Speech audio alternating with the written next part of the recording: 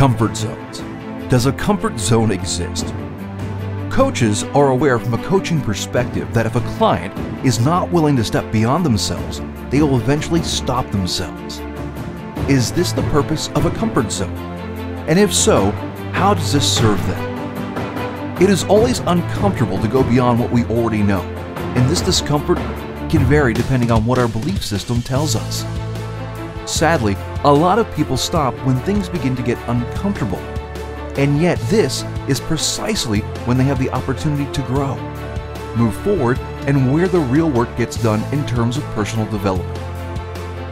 New ideas and beliefs can make us feel uncomfortable, but if we step back and look clearly at things that we have learned about our beliefs and positive self talk, we can embrace a willingness to travel the path of life.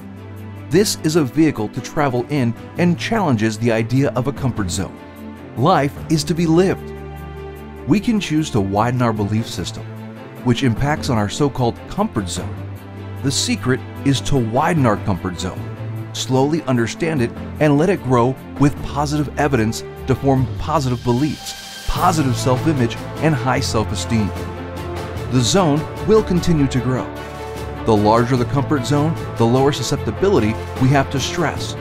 Everything is possible. Coaching is about preparing to be limitless.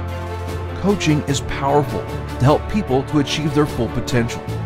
It is not counseling or therapy, coaching is results driven. Do you have a good coach supporting you? Or are you looking to be trained as a professional accredited coach?